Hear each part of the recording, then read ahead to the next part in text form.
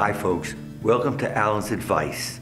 I'm getting a lot of letters regarding the industry, how to take care of jewelry, insurance, a lot of interest, background, where many stones come from, a lot of questions, and that's important.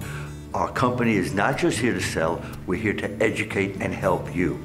I've gotten a letter recently from Bonnie from California.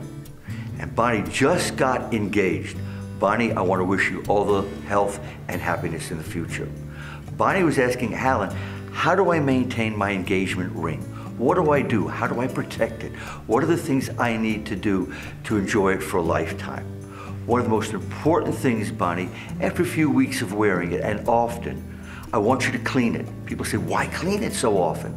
Because when you wear a diamond, your hand sometimes get moisture on it and oil. It's natural, natural secretions. They get on the stone and under the stone. The important thing with a diamond is, the most important thing, is light entering the stone. I've explained on air how light enters the table, how it's refracted and reflected back through the table. When you have dirt under that stone, it changes the angles of the light because it's a thin, thin film. The important thing is if you keep it clean, you'll leave that stone always having scintillation, dispersion, the things that make your diamond so exciting to wear. Buy a little bottle of Dial soap, antibacterial, with a little pump. I keep one by the sink where I love to cook, and I'm always washing my hands before I touch and work with any of the food. That's all you need to use. Use that, and a very important thing, if you do it in the bathroom, don't forget to put the drain down. You don't want it going down the drain. It's happened to my wife before. Don't do it, I'll pass that on to you. So what you do is you take a soft toothbrush and you hold it under the pump, and as you pump it, like you're putting toothpaste on it, and don't use toothpaste, anybody. It has a gritty surface, you don't want to use toothpaste, a lot of people do. And it puts a little soap on. You take it and you gently scrub it. And you scrub the inside, the top, you go between the, the, stones, between the prongs, and you give it a good cleaning. Then you hold it under cool water. You don't need hot or cold, cool water, and then dry it well with a towel. This will keep your stone polished, clean, and it has, it has that beauty, what we buy a diamond for, for the play of color, the dispersion, and the scintillation, the brightness, and the twinkle. Number two, another very important factor for security and safety Sometimes the stone over a period of time will become loose. And I'm going to tell you a very unique way of testing it. Don't put it in your hands and shake it. You won't hear what you need to hear. Hold it by the bottom, called the shank. Put it next to your ear take your finger and gently tap it.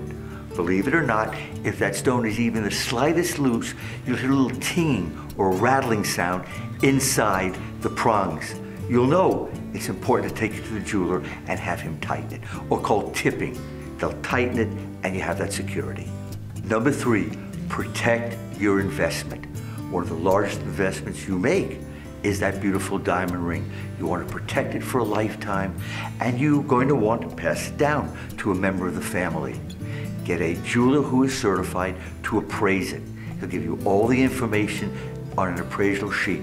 Then contact your insurance agent, the gentleman who insures the house and the cars and the content. They have a policy just for jewelry. This way it's protected and include maybe the watches and other items that you want protected for the future and for family. Number four, this is again maintaining it so it always looks good. Jewelry sometimes gets scratched when you wear it on the bottom of the hand, you're moving a chair, you're getting into the car. I recommend going to your jewelry store and buying a jeweler's polishing cloth. One side is usually very, very soft, ready to buff it and polish it. On the other side is a little material built in. Uh, uh, it's called rouge, not the kind you use in your makeup. It's a little reddish tone to it, and it puts a polish on it. It has a little grit to it, so it takes off as you rub it. Any slight scratches, then you go to the other side, and it polishes it and buffs it up beautifully. And it maintains that elegant, beautiful look for the rest of your life. Bonnie, I hope that helps you out.